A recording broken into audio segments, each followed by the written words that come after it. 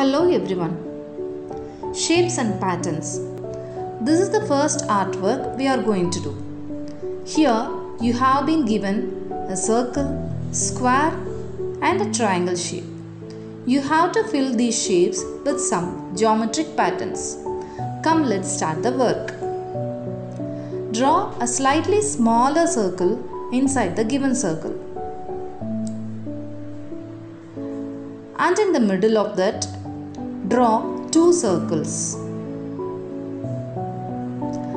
Around it, you have to draw six more circles.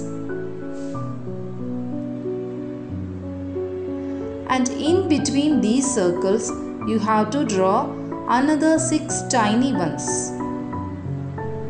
Now we have completed the drawing. Start coloring.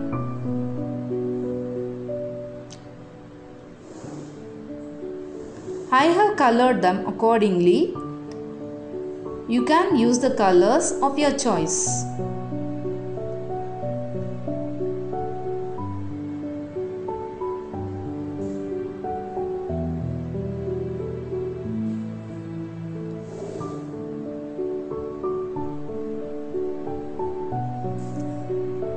This is the way you have to complete the circle pattern.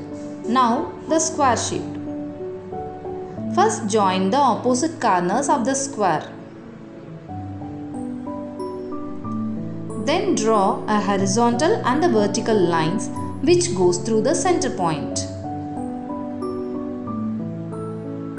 Now join these two points and repeat it likewise.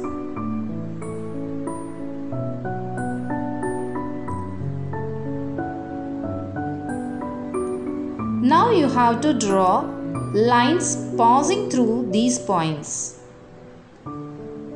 First horizontal and then vertical. That's all. We have completed the drawing. Now you have to color this.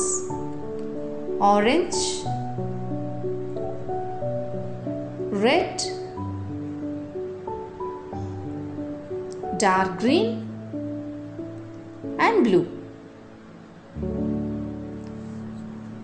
Now the triangle pattern, draw parallel lines to the sides of the triangle and draw horizontal lines starting from the points made by the parallel lines. The lines should be parallel to each other. These lines will intersect each other so that you will get points which you can connect with another set of lines. That's it.